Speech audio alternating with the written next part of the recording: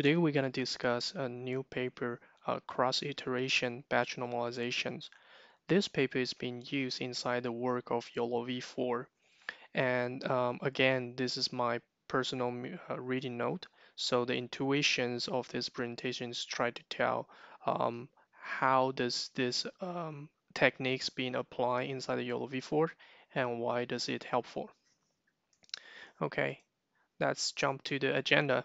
So we're going to talk about the first point is the problem of batch normalization. Of course, there's a problems, and that's why um, there's new papers trying to solve that problem.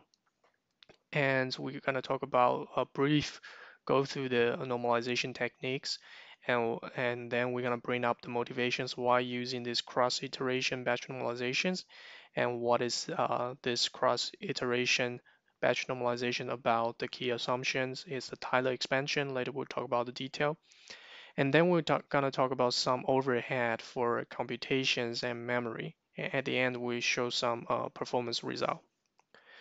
So we we know that the, in 2015, uh, the batch normalization is there, and it talk about that the internal covariance shift problems and could be solved using this batch normalization approach.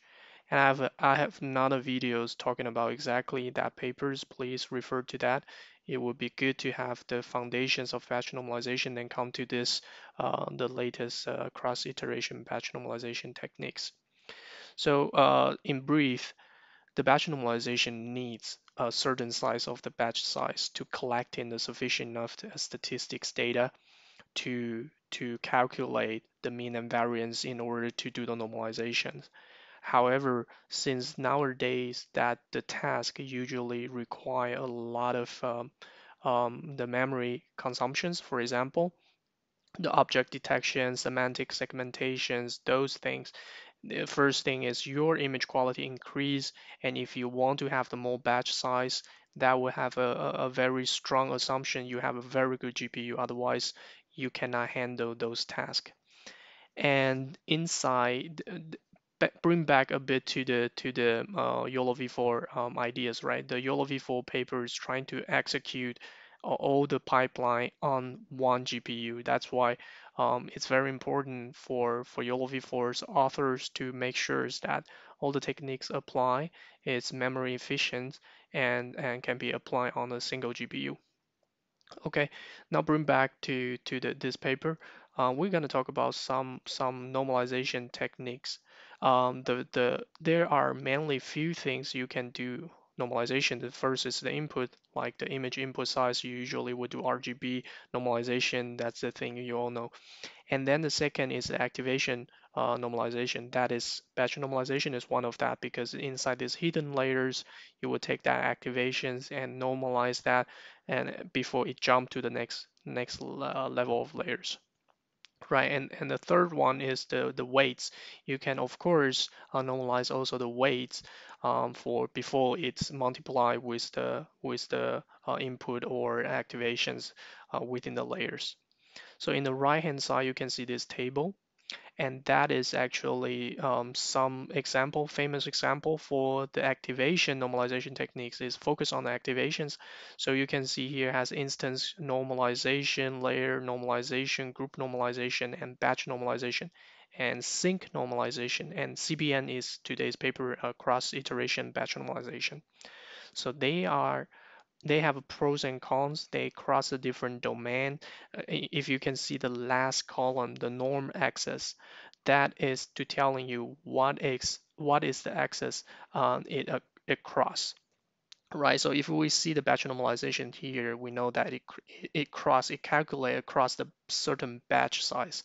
And that is exactly the things the other techniques try to avoid because if you have the problem, you don't have enough memory, you cannot you cannot afford uh, enough batch.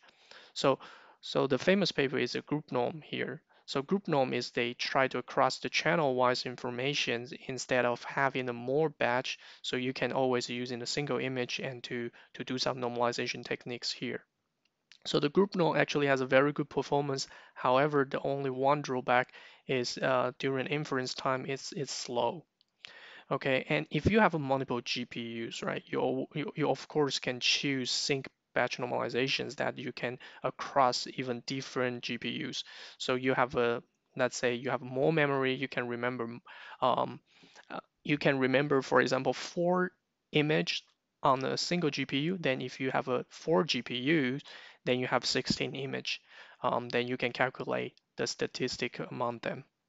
So inside today's paper, cross-iteration batch normalization is trying to cross time domain. So if you see here, there's iteration. Later we'll talk about the detail, but just try to remember that uh, the cross iterations based on the name, it cross the iteration, and that iteration means across the time domain. So here I just trying to re-emphasize the problem why the cross iteration batch normalization is a is a problem because um, you don't have in what if you don't have enough um, mini batch, right? So if the if the mini batch is small, then you have a bad statistics and it's very noisy, then your training tend to be uh, not converge, will be diverge. So the cross iteration batch normalizations joins multiple recent iterations to to to solve the problem. So you uh, the next um, diagram maybe show more intuitive how does it work. So if you see here, if you see in the upper part, there is a different iterations, right? The most right hand side, you have iteration t means the current time domain, current time. And then if you cross one time back, the t minus one and t minus two here, the upper part, uh, the upper part there is is written batch normalizations, right? So inside the normal batch normalization, what are you do? Uh, what what are you doing is actually you calculate the batch size and then you you calculate the mean and variance across this batch size. So that's only one single um, things you will get as a result. However, if you see the lower part, the cross iteration batch normalization actually it not only calculate the current timestamp informations, there's also the blue arrows. You see that it's cross the previous iterations to get the means and variance um, to, to sum them, sum them up together. Okay, so you might think what is the problem? Uh, it sounds very intuitive. Why why the others didn't think about this idea? You basically just remember those uh, means and variance at the previous iterations and then you add them up. However, the thing is not that simple. That is a very naive approach what you are doing. The only problem is when you think um, what is actually happening inside the neural network trainings, right? You are training a network means your weights are changing all the time across the time, right? So when you are changing your weights across the time, and then uh, means that at the time t, you will have the different weights compared to the time t minus 1. And of course, that means your means and variance will be also changed. So if you just naively sum them up, of course, they are different weights, then that will cause a very bad result. As you can see in the left diagram here, the red um, the, the red line here, the naive CBN is exactly if you didn't take into account of the weights are different and then you just sum them up together, you will see the performance is really bad. Okay, so um, how, how do we solve the problem is actually the key assumptions of, of today's paper. We talk about at the agenda that the key assumption is the Taylor expansions, uh, it's a Taylor series, right? So if you see the, the, the right upper part, the highlight, we observe that the weights change smoothly between consecutive iterations due to the nature of gradient-based training. Because when you're doing the, uh, the, the training, you use gradient descent or the other technique, similar approach, you are using a gradient-based approach.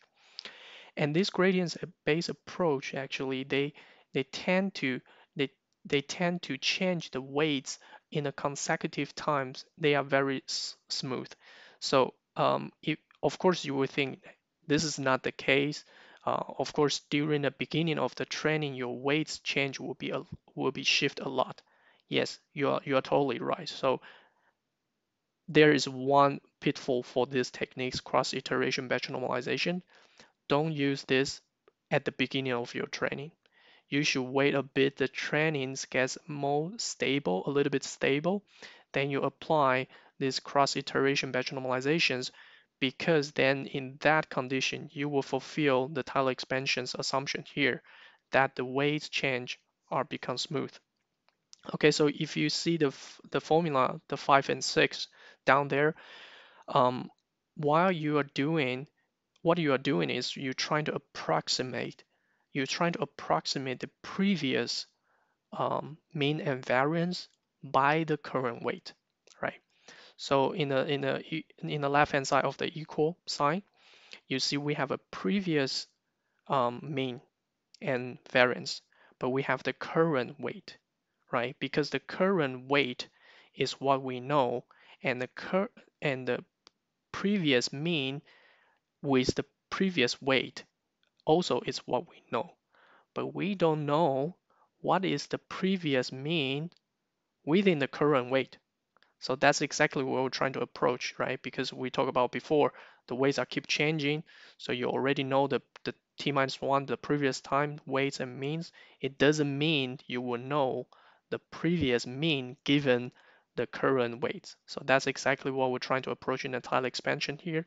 And if you can see here, we're trying to truncate it on the on the second order. Um, we only lift uh, under the second order because the higher order terms will will be canceled out. And why would it be canceled out? Because of our assumption, the weight change between the consecutive time is small.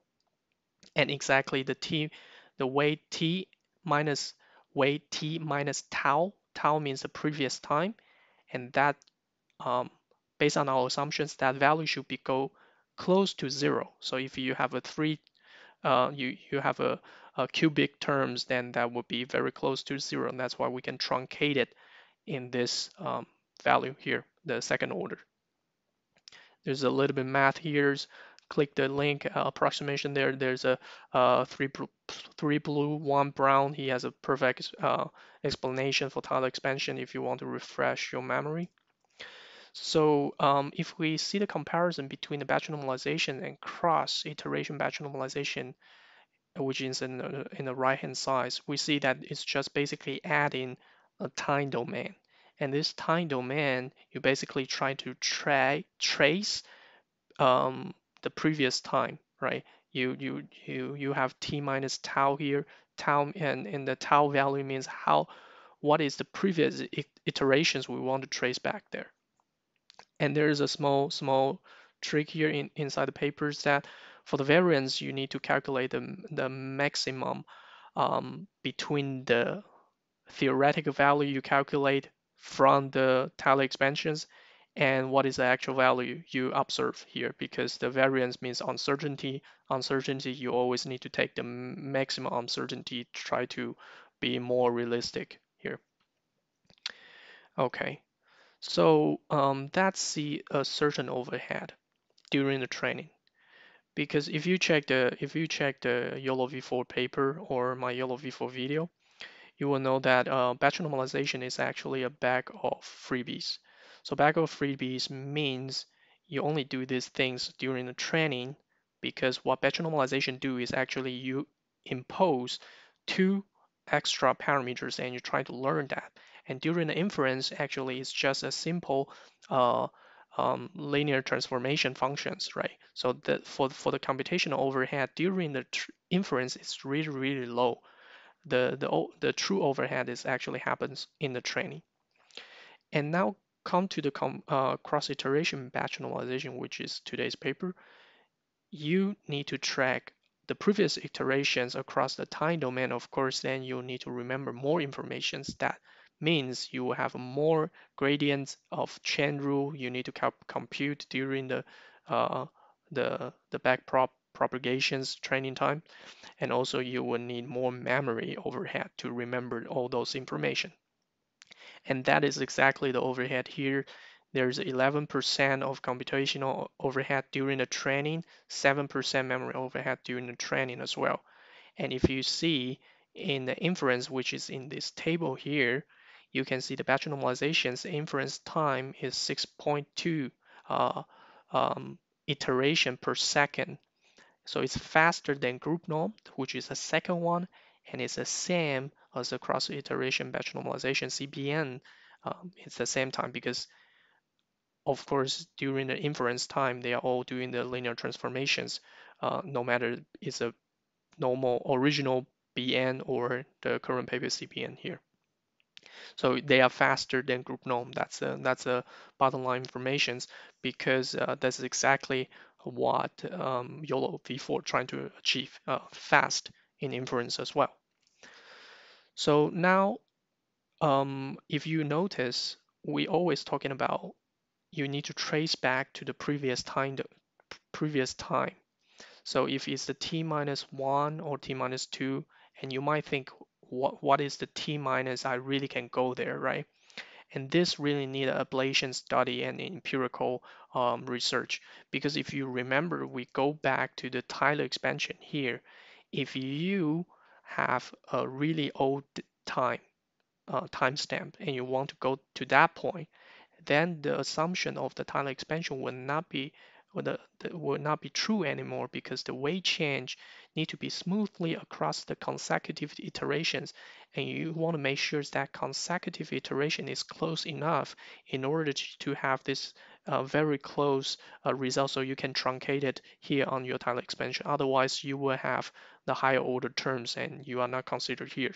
So that whole assumption will break if you trace really back to the time. So the ablation study here in this paper, they say the k equal to 8 is a good number here. It means that you can trace back to uh, previous uh, seven iterations here. And then we're gonna see some final performance of, of the this paper. So one thing to notice, right? What we're trying to solve in this paper is if you don't have enough batch, batch size for the for the batch, original batch normalizations, right? So if you see the right, let's let's first see the the the left hand side.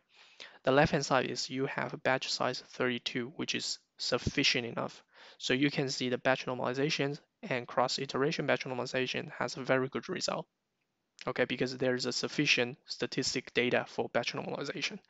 And if you see the right hand side and the upper part is showing that what is the size of batch and if you see the lower the number is, the worse uh, the performance for the original batch normalization because there's no statistic statistic uh, sufficient data anymore. But if you see the the cross iteration batch normalization, it still maintain a certain accuracy. And if you see uh, the most extreme case, the batch size equal to one, you see here the group norm is actually shine here because they are really good. They cross the channel domain. But in cross iteration batch normalization, it still perform very good result here. So if you use a physics way of thinking, and that is the cross iteration batch normalization actually they are a superset of the batch normalizations, right? Because it contains the different time domain informations, which include the current time, which is batch normalization. So it's obvious that the performance of the CBN will be the superset of the BN under the different circumstances. And yeah, that is uh, that is all for for today's presentations. Uh, I want to talk about the CBN. Just trying to shortly recap the problem uh, CBN trying to solve is whenever there is not enough uh, batch size, how can you do? And there's a bunch of different papers um, contribute their idea. The CBN, what is special is they contribute the idea to cross the time to us to to to collect uh, the statistics data. And the most important thing is the assumptions of the weight change across the consecutive iterations is very smooth. So you can use Tyler expansions to approximate uh, the mean and variance there so you can make whole calculation meaningful. And that's all for today's presentation. Thank you.